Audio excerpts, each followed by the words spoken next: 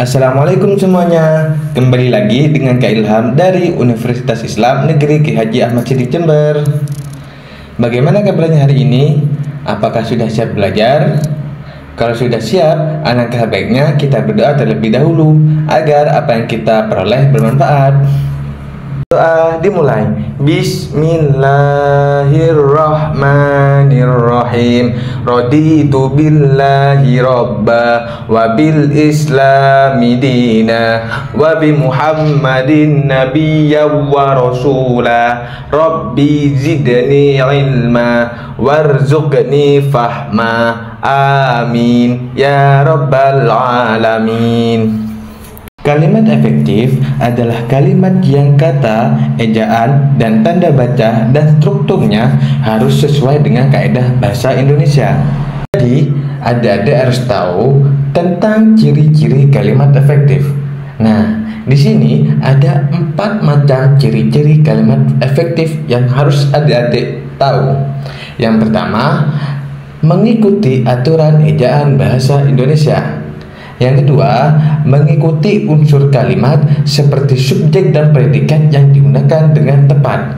Yang ketiga, hemat kata dan tidak bertele-tele. Dan yang keempat yaitu pesan yang disampaikan harus jelas dan tidak membingungkan.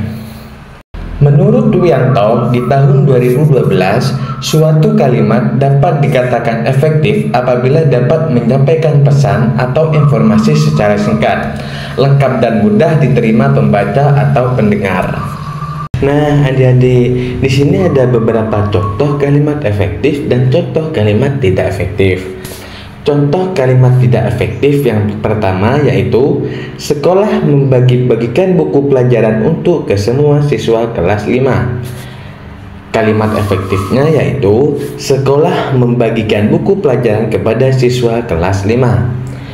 Contoh kalimat tidak efektif yang kedua yaitu ayah memasak dan menggoreng ayam goreng di dapur.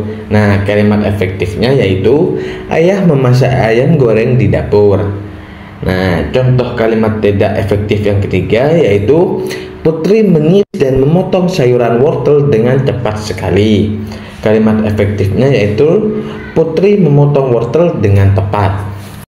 Kesimpulan dari kalimat efektif itu adalah agar kita berbicara dengan orang lain tidak bertele-tele, agar orang yang mendengarkan pembicaraan kita tidak membingungkan dan dapat dimengerti.